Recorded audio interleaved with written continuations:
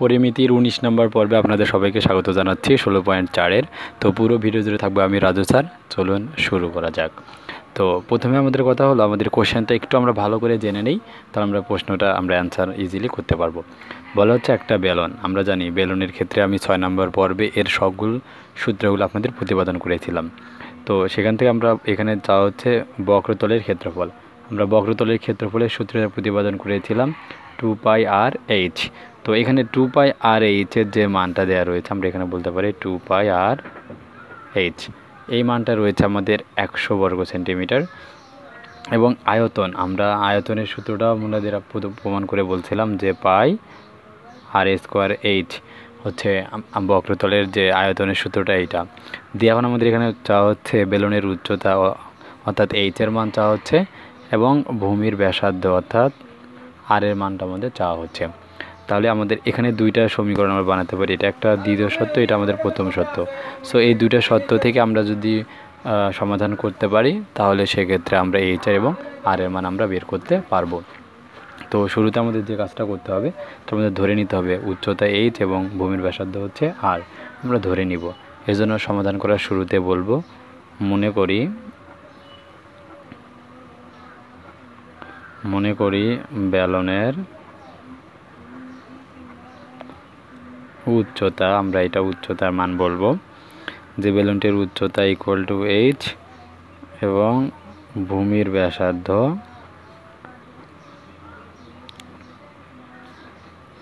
ভূমির ব্যাসার্ধকে আমরা আর চিন্তা করলাম।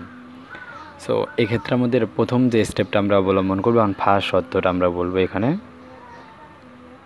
প্রথম সত্ত্বে প্রথম সত্ত্বে বক্রতলের ক্ষেত্রফল, অর্থাৎ টু পাই আর এইচ এর রেজাল্টটা হচ্ছে আমাদের হান্ড্রেড সো আমরা এখান থেকে আমরা কি বলতে পারি? আসলে এটা আমাদের প্রথম যেহেতু কন্ডিশন তো আমরা এটার থেকে একটা সমীকরণ বানাবো বা পাই আর এইচ দুই দিয়ে ভাগ করলে পঞ্চাশ। সো এটা আমরা নাম দিচ্ছি, এক নম্বর ইকুয়েশন ধরে নিচ্ছি। আমরা সমীকরণ বানিয়ে কাজ করব। এরপর আমাদের দ্বিতীয় শর্ত এখানে দ্বিতীয় শর্ত আমাদের রয়েছে আয়তন। আয়তনের সূত্র হচ্ছে পাই আর স্কোয়ার এইচ। এর মানটা হচ্ছে আমাদের ওয়ান ফিফটি। তাহলে আমরা এটা দুই নাম্বার ইকুয়েশন বিবেচনা করতেছি। তো এখন আপনারা একটু চিন্তা করে দেখুন যে এখান থেকে আমাদের বের করতে হবে। আর এবং এইচ এর মান। তো আমাদের পাই পাই দুইটা যদি আমরা ভাগ করি, সেক্ষেত্রে পাই ক্যান্সেল আউট হবে। তো সেক্ষেত্রে এটা আমাদের বড়, তো বড়কে আমরা ছোটো দিয়ে ভাগ করব। তো আমরা বলব দুইকে এক নং দ্বারা আমরা ভাগ করে পাই। এজন্য বলব যে দুই নংকে দুই নংকে এক নং সমীকরণ দ্বারা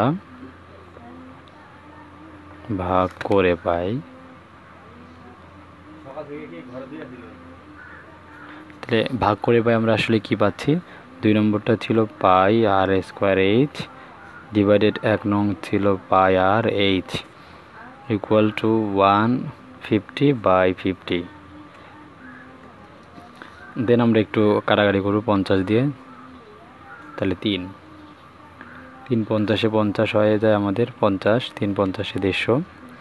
আর এখান থেকে আমাদের H H cancel pi pi cancel আর শুধু থাকবে আর তাহলে আমরা অতএব আর এর মান ডিরেক্টলি পাচ্ছি কত? থ্রি তাহলে আমরা যে সরাসরি আমরা যে ভূমির ব্যাসার্ধ যা, তার মানটা আমরা পেয়ে গেছি। আর আর এর মানটা যে কোনো একটা বসে দিলে আমাদের রেজাল্টটা বের হবে। আমরা আর এর মানটা এক নঙ্গে বসালে সুবিধা, কারণ এখানে বেশি ক্যালকুলেশন করতে হয়। সো আমরা বলব আর এর মান? আর এর মানটা আমরা এক নঙ্গে বসাই। এক নং এ বসাই।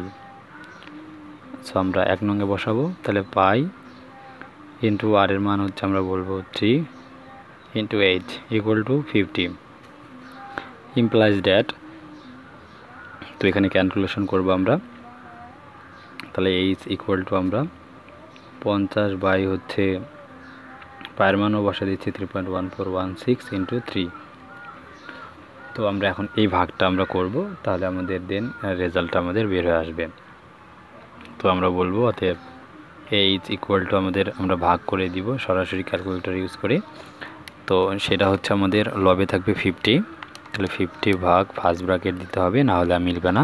Three point one four one six into আমরা দেখতে পাচ্ছি ডিসপ্লেতে ইন্টু হচ্ছে থ্রি ব্র্যাকেটগুলো সান equal five point three zero five five point three zero five five point three zero হচ্ছে ফাইভ এত হচ্ছে সেন্টিমিটার আর আমরা পায়ের মান ব্যবহার করলে বলেছিলাম উত্তরটা আসন্ন আসবে, তাই সেক্ষেত্রে আমাদের প্রায় কথাটা ব্যবহার করতে হবে। সো আমরা পেয়ে গেছি আমাদের উচ্চতা আর যে বেলুনের উচ্চতা এবং ভূমির ব্যাসার্ধটা আপনাদের বুঝতে পারছেন। আমরা কত ইজিলি বের করতে পেরেছি। তাই আমরা বলব অতএব নির্ণয় নির্ণয় ব্যালনের উচ্চতা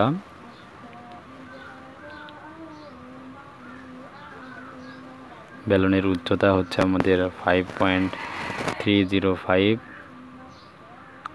এত সেন্টিমিটার প্রায়। এবং তার আরেকটা রেজাল্ট বলছিল ভূমির ব্যাসার্ধ, আমরা বলব ভূমির ব্যাসার্ধ